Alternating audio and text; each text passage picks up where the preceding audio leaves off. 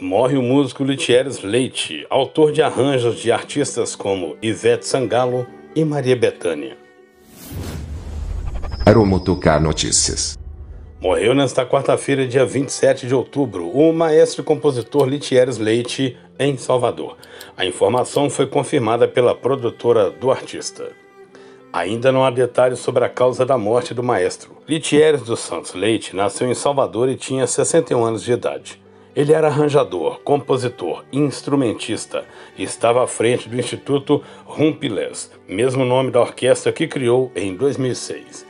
Além de reger a orquestra, o artista era o responsável por todo o conceito, figurinos, ambientação, passando pelas composições e arranjos de sopro e percussão percussionista e saxofonista que acompanhou a cantora Ivete Sangalo por mais de 12 anos, o músico baiano foi o responsável pelos arranjos de muitos sucessos da musa, incluindo Festa, Empurra Empurra, Tô na Rua e Abalou. Neste ano, Litieres Leite contribuiu com arranjos para o disco noturno de Maria Bethânia.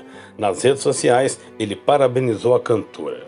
Ansioso por escutar este novo disco noturno, onde tive o prazer e a honra de ter feito arranjos. Viva!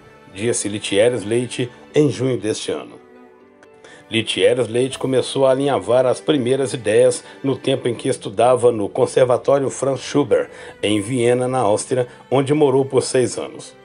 De volta ao Brasil, montou uma escola chamada Academia de Música da Bahia, onde começou a desenvolver pesquisas.